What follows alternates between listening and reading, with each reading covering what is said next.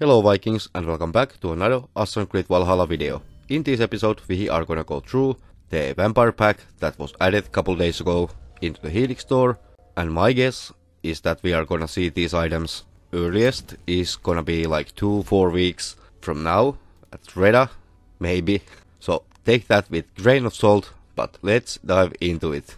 The first item from this pack it is gonna be the Divine Hammer Brain Smasher perk of this weapon increase stun by 15% after hitting with 8 special attacks. And come on, I mean 8 special attacks that is a lot in order to get 15% buff.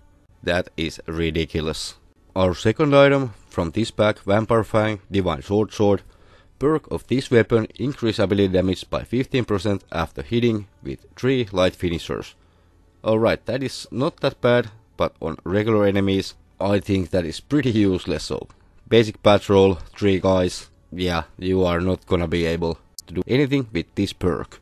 Moving on to our third item, Vampire Claw Divine Dane Axe, so two-handed axe. Perk of this weapon increase melee damage by 15% after hitting with 3 heavy finishers. So pretty similar than the sword sword. Also, every item in this pack they are looking great for 1400 helix credits I would say don't buy this pack. I repeat, don't buy this pack. But it is time for the last item, Divine Hunter Bow Vampire Bite. Perk of this bow, increase range damage by 15% after hitting 4 headshots. I think that is actually the best perk, but the amounts needed to activate the perks, I think they are ridiculous. Just come on. For now, let's roll the outro.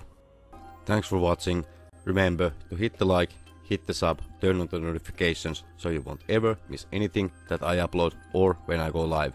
Also Vikings, have fun, stay safe, be strong. Hope to see you in the next one. Skatha, over and out, and bye bye.